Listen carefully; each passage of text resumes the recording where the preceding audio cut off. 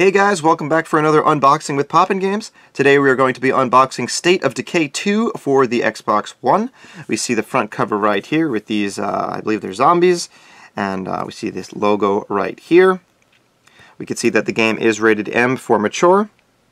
It is an Xbox One console exclusive, and it features 4K Ultra HD, HDR, and it's Xbox One X enhanced. Moving on to the spine, once again there's the title, gray background. On the top we can see that this is a Y-fold copy. And on to the back we have uh, this scene here as well as three shots of gameplay. It says, How will you survive? In this post-apocalyptic zombie world, humanity stands on the brink of extinction. It's up to you to gather survivors and build a community. Play as a community of survivors in an open-world adventure. Four-player co-op multiplayer. Your choices define your survival story.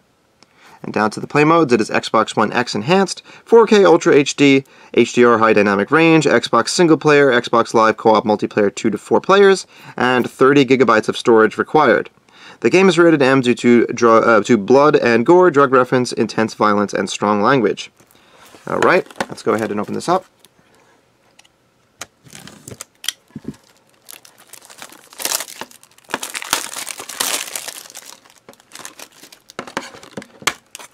Alright, on the left hand side we do see the game disc right there. And that will be all. Thank you guys for watching this unboxing of State of Decay 2 for the Xbox One. And if you enjoyed this video, can, you can let us know by liking, commenting, and subscribing down below.